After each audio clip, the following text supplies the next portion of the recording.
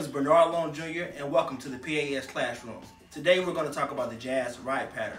I'm going to give you three tips. Tip number one, get to know your cymbal. Find the sweet spot.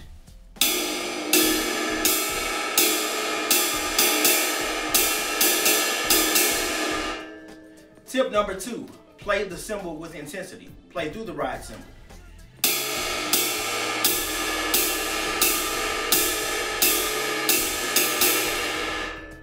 And number three, always sing your ride pattern. I use numbers 55, 55.